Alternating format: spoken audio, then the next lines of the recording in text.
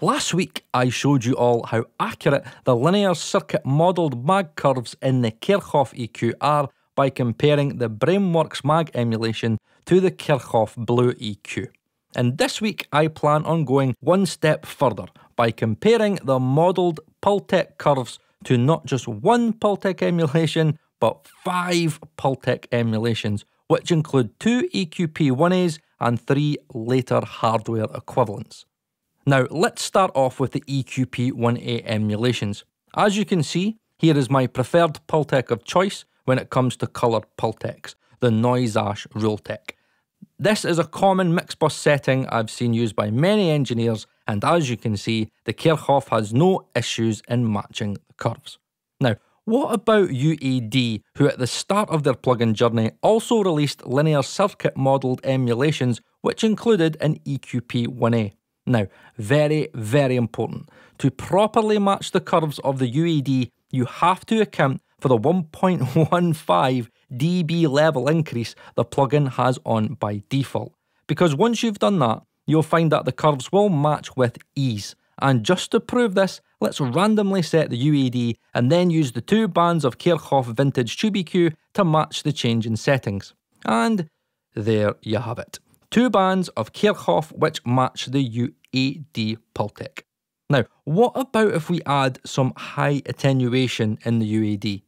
And then turn on the vintage tube attenuation, which is coded to only work past 1 kHz. With a bit of tweaking, we can get the high end a bit closer, and if we need to tighten the Q of the high bell, then we have that option as well. Now, as you can see, the low shelf band, regardless of setting, can be matched by simply sweeping the frequencies, with the Pultec low attenuation being adapted via the shape control on the low shelf band.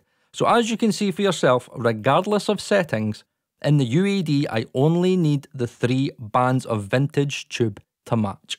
But what about a TubeTech Pultec? Surely, surely I can't match those curves either.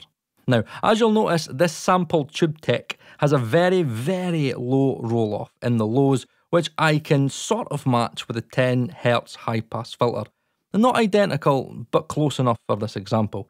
Now, as you can see, the curve interaction of 20, 30 and 60 Hz is the same where all you need to do is sweep the frequency, but you'll notice that the 100 Hz setting slightly alters the band interactions, which needs a bit of fine adjustment. You'll also notice that the very top end is a bit different as well, and that's okay as we have the Kirchhoff attenuation to nicely level this out. This then allows us to change and match high band settings with just a slight Q adjustment. And even if we move from 100Hz to 20Hz, which we know will alter the curve interaction, we still only need the two bands to match the curves. Same with the low attenuation. It's not perfect off the bat, but with some tweaking using the bands, you can get where you want to be. Now, let's try and move to a more unconventional Pultec in the form of the DW Fearn VT5, which incorporates extra low attenuation filters and an additional mid-cut. So as you can see, you can only get 20 and 60 Hz of an EQP1A low attenuation via 100 Hz and 400Hz Ruby low cut, which means that the VT5 can only get EQP1A boost and attenuation of 20 and 60 Hz.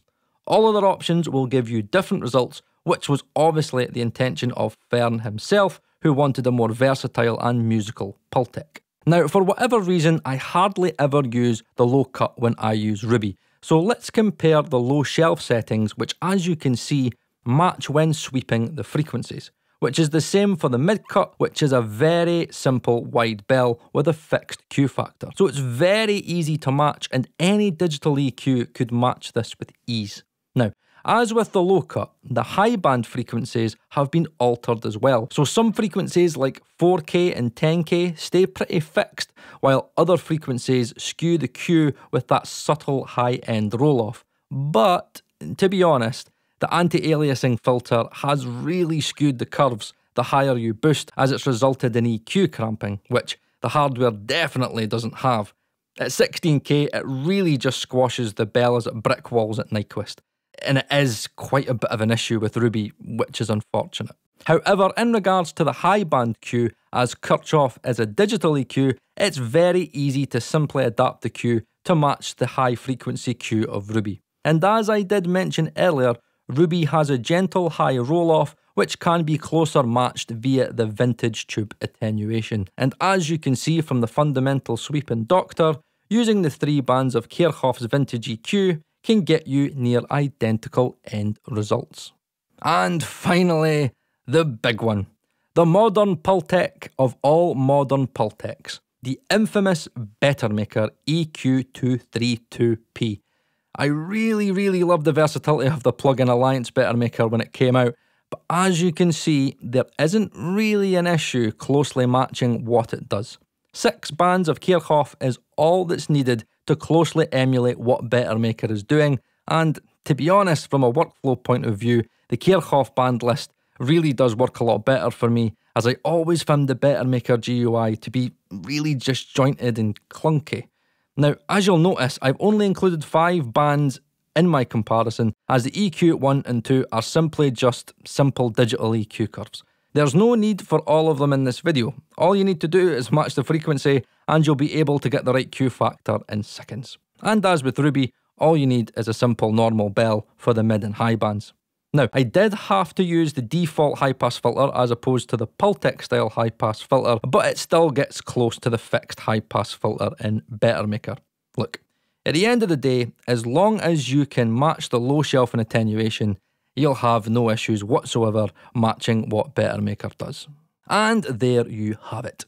5 Pultec plugins matched with the Kirchhoff vintage tube EQs and standard bells. I hope that what we can agree here is that what this video proves is that you really only need one Pultec style EQ, which in my eyes would be Kirchhoff's vintage tube as it removes the limitations of all the other Pultecs. You aren't limited with frequencies and Q factors, and you can add as many bands as you like.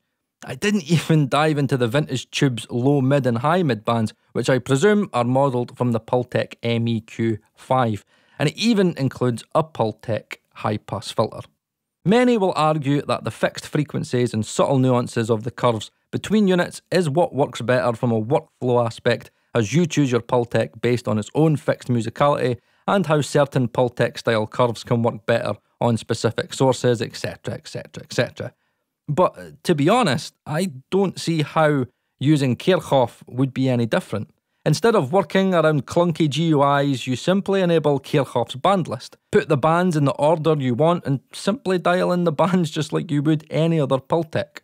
Instead of switching through fixed frequencies, you're sweeping through frequencies, which I think can give you better end results dependent on the source. As with Kirchhoff, you can work more intuitively without the limitations of whatever Pultec style you are using. You simply just don't need to own them all because you can get them all out of one digital EQ. With Kirchhoff and other digital EQs that offer this variability, you are in full control and have the scope to do whatever you want. Now, this is obviously going to come across as me telling you to buy Kirchhoff, which honestly I'm not. I genuinely couldn't care less if you buy it or buy six different Pultecs instead and use them all. You do what you do. All I'm trying to do is look at this from a very realistic point of view, as I'll still have those fairy dust believers who go down the route of, but you won't get that Pultec magic from a linear digital EQ. It's just not possible. Now, for those guys and girls, just look at the harmonic response of the other Pultec emulations. Bettermaker, completely clean, completely linear. Even the two sampled Acustica plugins, Titanium, which sampled the tube tech. no audible harmonics, not even close to being audible. Ruby, look, it's essentially as clean as the Bettermaker and Kirchhoff itself. There's absolutely nothing audible from a harmonic aspect. It's completely linear. If you really want to add some mojo, you can easily add any saturation plugin after Kirchhoff to give you some extra vibe that you feel that you need. The possibilities are out there. There are great feature-filled EQs like Kirchhoff, FabFilter, Equilibrium and Tone Boosters that allow you to do more with just one plugin instance. And to follow on this trend, next week or the week after, I am going to look at the two SSL style curves that Kirchhoff offers and compare that to some big SSL plugins. If you're interested, then I do suggest you subscribe so you don't miss out. And if you really appreciate all the hard work that I do here, there is now super thanks enabled on the videos, so you could give me something back if you feel that I've gave you something of value. It really helps to support me and the channel, but if not, a like will suffice. But either way, as always, guys and girls, thank you for your time, and my name's Paul Third, and I'll see you again next week.